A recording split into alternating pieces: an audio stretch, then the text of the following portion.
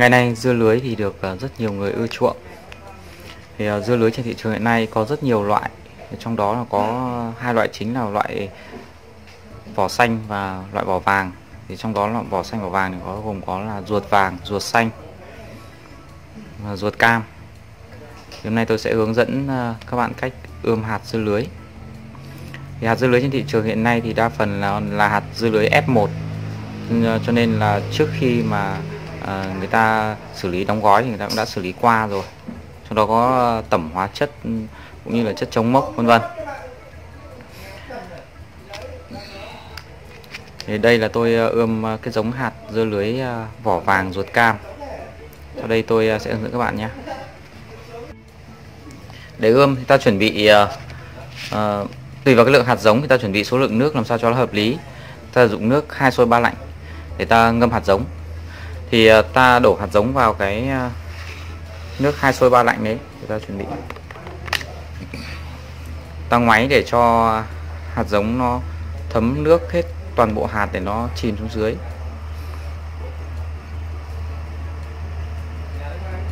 Ta sẽ ngâm hạt giống trong vòng khoảng à, 3 đến 4 tiếng đồng hồ. Đây là hạt giống mà tôi đã ngâm ủ được khoảng 4 tiếng. Đấy, tôi đã ngâm khoảng 4 tiếng. Thì bây giờ ta sẽ lọc sau đó là rửa cái hạt giống này đi. Lọc và rửa hạt giống sau đó là ta ủ. Cái à, tôi sẽ nói thêm là trước đây thì tôi có nói về cái vấn đề là tại sao mình phải ngâm ở cái nước ấm à, hai số ba lạnh. Thì cái mục đích của nó là để diệt một số cái nấm mầm mầm mầm mống sâu bệnh mà nó ở trong cái hạt này nhưng mà thực chất ra thì cái giống dưa F1 mà ta mua trên thị trường thì người ta có xử lý ờ, một số cái hóa chất để để để để ngăn ngừa cái nấm bệnh rồi. Nhưng mà ta cứ ngâm để nó tăng thêm cái ờ, cái cái cái cái um, diệt cái nấm bệnh. Và cái mục đích nữa là để cái hạt giống này nó hấp thụ no cái nước để nó dễ nảy mầm hơn. Đấy bây giờ thì ta sẽ đi ờ, ta rửa cái hạt giống này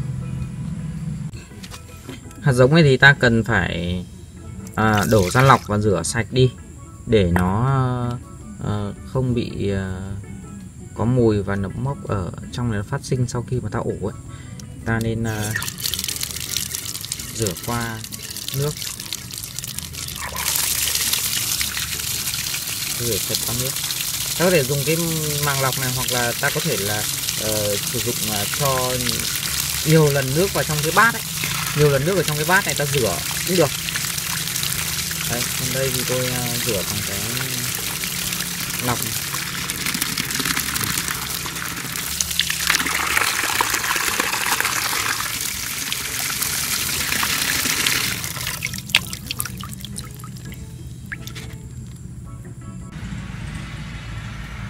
sau khi đã rửa xong thì ta sẽ tiến hành à, ủ hạt. Thì ủ hạt thì ta có thể sử dụng cái giấy ướt ấy giấy ướt mà ta sử dụng hàng ngày uh, để ờ, lau ấy. Cái giấy ướt này, này. Hoặc là ta có thể sử dụng cái uh, vải. Cái vải mà mà mà ta đã thấm nước cho nó ướt. Đây cái vải như này. Dụ đây tôi sử dụng cái vải này. Và ta sẽ đổ hạt giống vào. Cái vải này thì ta thường xuyên giữ ẩm khoảng tầm từ 70 đến 80 phần trăm để cho uh, cái hạt nó nảy mầm khi mà nó uh, khi mà trong vòng 24 tiếng đến ờ, 48 tiếng đồng hồ ấy, thì ta sau khoảng tầm một ngày nghĩa là ví dụ như là hôm nay ta bắt đầu ủ cái hạt này thì đến ngày hôm sau ta kiểm tra xem là nó đã có nứt nanh ra chưa. Bởi vì cái thời gian nứt nanh của cái hạt này nó còn phụ thuộc vào là cái hạt này ờ, tùy vào cái cái loại giống thì nó có cái thời gian nứt nanh khác nhau cho nên là hàng ngày ta nên kiểm tra độ ẩm và kiểm tra cái độ nứt nanh của hạt. Đây ta phủ nó lại phủ nó lại. Và hàng ngày ta kiểm tra xem cái độ ẩm ở trên cái cái vải này. Nghĩa là uh, cái vải này mà khi mà ta thấm ẩm nó là ta vắt vắt làm sao mà để cho nó còn giữ độ ẩm khoảng từ 78 phần trăm. Người ta vắt nhẹ thôi vắt nhẹ làm sao để cho cái nước nó chảy ra nhưng mà nó vẫn còn cái độ ẩm ở trên cái vải này. Còn hàng ngày ta sẽ phải sử dụng cái bình xịt hoặc là ta sẽ vẩy nước vào đây để cho nó giữ độ ẩm để để cho hạt nảy mầm đấy bây giờ cái này thì à, ta sẽ để vào một chỗ thoáng mát và sau uh, cứ khoảng uh, nửa ngày thì ta kiểm tra một lần để xem cái hạt nó đã nứt nanh hay chưa. Nếu trong trường hợp nó nứt nanh thì mình sẽ đem để mình gieo vào khay hoặc là vào bấu ươm.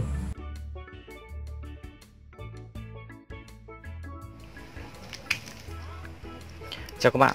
Thì hôm nay là đã được khoảng đây là ngày hôm sau được khoảng tầm à, 20 tiếng rồi. Thì tôi uh, đem cái hạt giống mà hôm trước tôi gieo ra để tôi kiểm tra.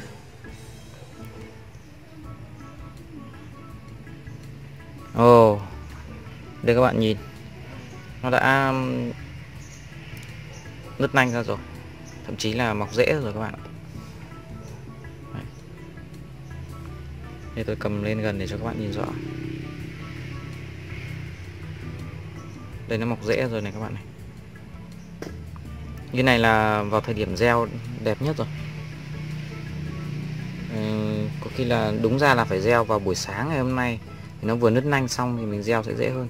Đây những hạt mới nứt nanh như thế này này. Hạt mới nứt nanh như thế này.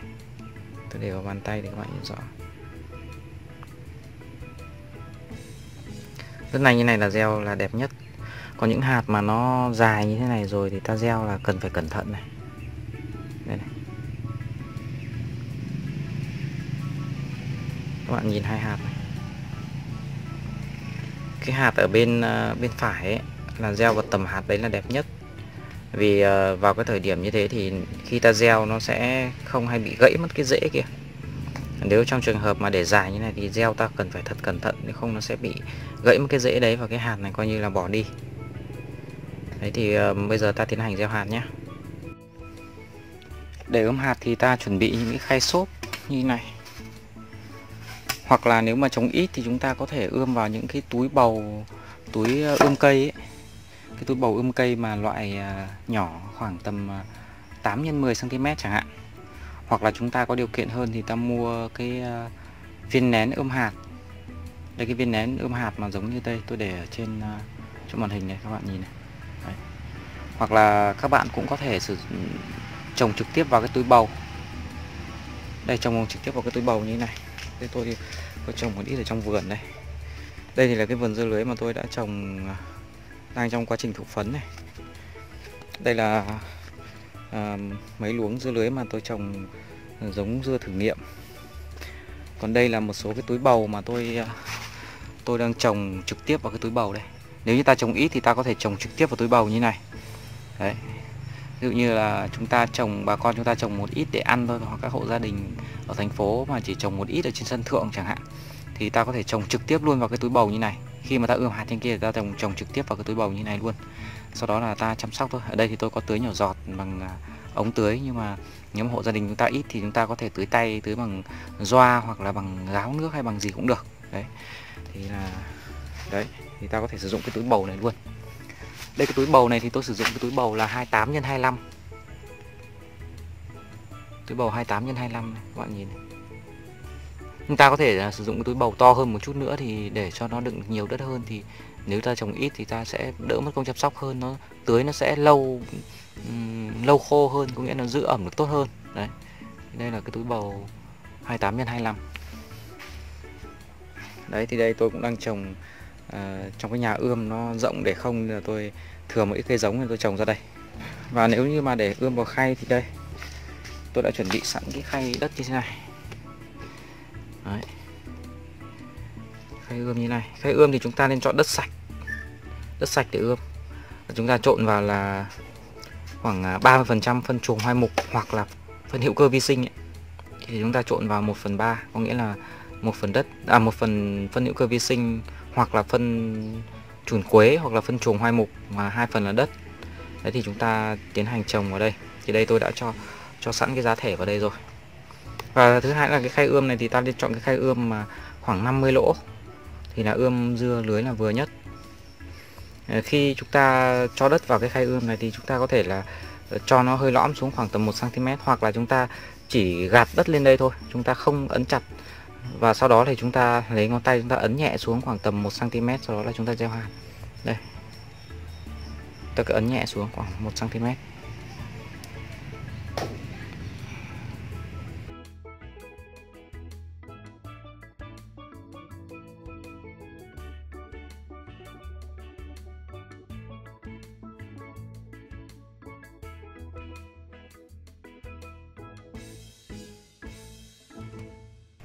các bạn chú ý là không nên ấn chặt quá nhé chúng ta chỉ ấn vừa phải thôi có nghĩa là đây có một cục đất to. Chúng ta ấn vừa phải thôi để cho dễ cây nó dễ mọc bởi vì đây là khi mà tôi ờ, tôi tôi bỏ đất vào đây thì tôi để nó rất lỏng thế nên là tôi ấn xuống một chút thì nó, nó chỉ xuống được một chút nữa thôi. Đấy. sau đó là chúng ta tiến hành gieo hạt vào.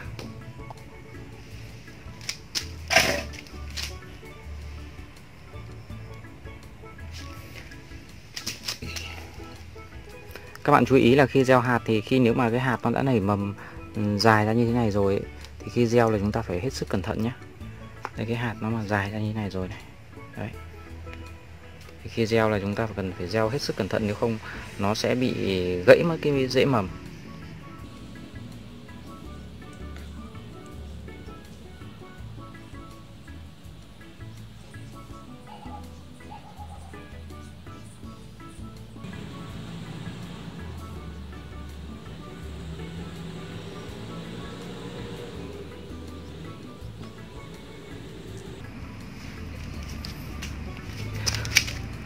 Sau khi gieo hạt xong rồi thì ta ờ, tiến hành à, sàng lên một lớp đất, sàng lên một lớp đất ừ, à, phủ lên phía trên, sàng một lớp đất mịn phủ lên phía trên để à, phủ kín hạt giống.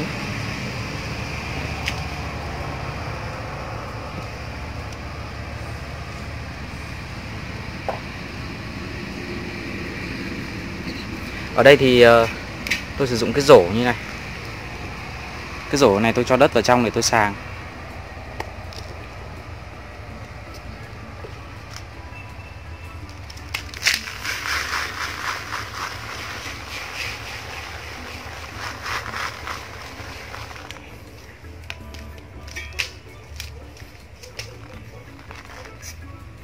Sau khi sàng lên ờ, bề mặt cái khay này rồi thì ta uh, gạt để nó lấp kín vào cái mặt lỗ đấy.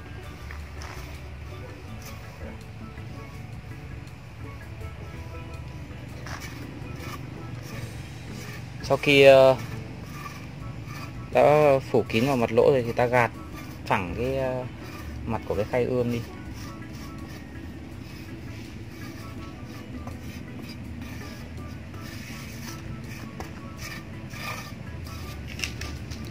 Đấy như vậy là ta đã có được một khay ươm uh, hoàn chỉnh. Thì uh, cái này nếu như mà ta ươm nhiều thì ta có thể uh, xếp lên một cái giá Một cái giá cái kệ này để. Và ta thường xuyên tưới giữ ẩm uh, ở độ ẩm khoảng từ 60 cho đến uh, 70% Thì ta sử dụng cái bình xịt tay ấy Cái bình xịt tay ấy thì ta xịt để tưới ẩm cho, cho, cho, cho cây. Cái này ờ, cây nhỏ thì nếu như ta tưới bằng doa thì nó sẽ làm bắn hết đất ra ngoài. Nên ta mua cái bình xịt tay. Đây cái bình xịt tay như này này. Các bạn nhìn ở trên này đây đây các bạn mua cái bình xịt tay như thế nhé để các bạn sử dụng để tưới ẩm hàng ngày cho nó. Ở đây tôi dùng uh, quy mô trang trại. Cái máy đi qua ồn quá. Tôi dùng quy mô trang trại thì uh, tôi tưới bằng uh, cái hệ thống tưới phun xương lớn. Đấy mà các bạn ở nhà thì các bạn có thể sử dụng cái máy ờ, bình ờ, xịt tay ờ, các bạn tưới. Sau tầm độ khoảng 3 ngày 2, 2 đến 3 ngày thì cây sẽ nảy mầm. Và khi cây có hai lá thật đây cây hai lá thật như này. Đây là hình ảnh tôi đã quay và chụp trước rồi. À, khi cây có hai lá thật như này thì chúng ta đem ra vườn để trồng. Nếu mà có ít thì chúng ta trồng bầu như tôi ờ, trồng ở trong kia. Và ừ, chúng ta đem ra vườn này để trồng như thế này. Đây thì tôi ờ, cây này của tôi đang ờ, mọc lên được tầm độ khoảng à, hơn 20 cm rồi. Hơn 20 cm thì tôi đã tiến hành cắt tỉa và buộc dây để cho cây leo.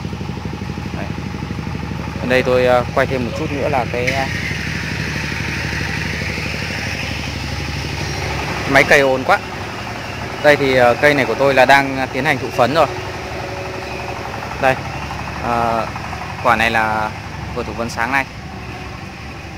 Đây, quả này thụ phấn sáng nay thì đây là vườn uh, vừa thụ phấn sáng nay. Sáng, sáng nay thụ phấn.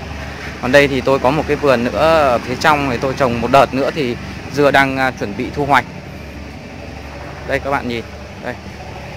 Dưa đang chuẩn bị thu hoạch đây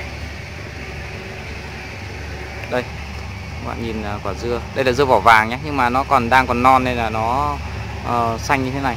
Quả này chắc là cũng được khoảng tầm uh, cân rưỡi đến ờ, cân 8 đây. Quả này uh, chắc được khoảng 2 cân rồi. Đấy. đây vườn uh, chuẩn bị thu hoạch các bạn nhé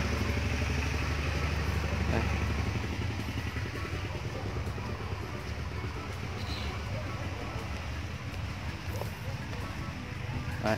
Vườn này thì ờ, chỉ trong vòng khoảng tầm ờ, 20 hơn 20 ngày nữa là dưa chín rồi. Đấy. À, chúc các bạn à, ươm cây thành công và còn có gì thắc mắc thì các bạn à, hãy bình luận ở bên dưới video này và các bạn nhớ đăng ký kênh video của tôi để theo dõi những cái hướng dẫn nông nghiệp cũng như là cái series hướng dẫn về cách trồng dưa lưới chúc bà con thành công và bà con nhớ đăng ký kênh để theo dõi tất cả những video mới nhất từ kênh nhà nông Tây Bắc. Xin chào và hẹn gặp lại.